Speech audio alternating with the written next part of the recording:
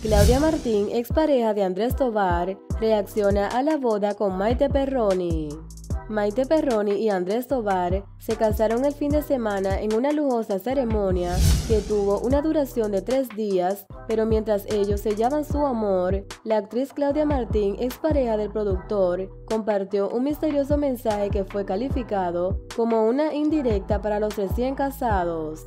Y es que mientras la pareja se casaba en medio de una espectacular fiesta, realizada nada más y nada menos en Valle de Bravo, México, hasta donde se dieron citas familiares y amigos de la pareja, entre quienes se encontraban Anaí, Cristian Chávez, Christopher Uckerman, integrantes de la famosa agrupación RBD, además de otros famosos como Angelique Boyer, Sebastián Rulli y las hermanas Surya y Marimar Vega, quienes llegaron acompañadas por sus respectivos esposos. Sin embargo, fue a través de las historias de su perfil oficial de Instagram, en donde la protagonista de la telenovela de Televisa Univisión, Los ricos también lloran, compartió una frase que muchos dieron por hecho, que se trataba de una indirecta para su ex y la cantante. No te preocupes demasiado, todo caerá en su lugar. Frase que escribió la famosa en inglés y sin ninguna imagen.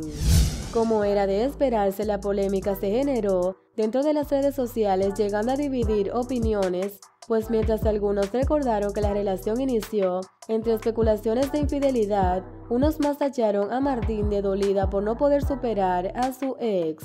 Lo que mal empieza, mal termina tiempo al tiempo y así les da de ir a esa pareja. Está dolida porque él la expuso por estafadora. Así será, pronto le llegará el karma a esa pareja de infieles. Supérelo, ya firmó el divorcio. Asimismo, su hora llegará. Creo que ya a estas alturas eso no se llama querer llamar la atención y colgarse de un evento que no le pertenece. Ya dos años con divorcio firmado y con novio nuevo. ¿Cómo le duele? Ella no es que tiene un marido que sea feliz y deje a ellos vivir su vida. Escribieron tan solo algunos usuarios de las redes sociales en el post.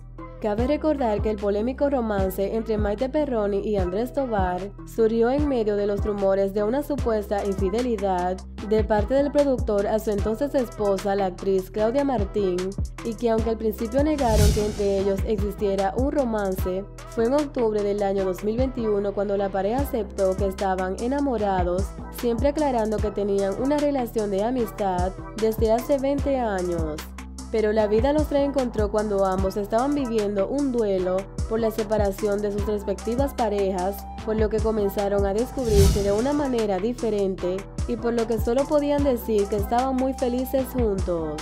¿Qué opinas tú de esto? Déjamelo saber aquí debajo en los comentarios.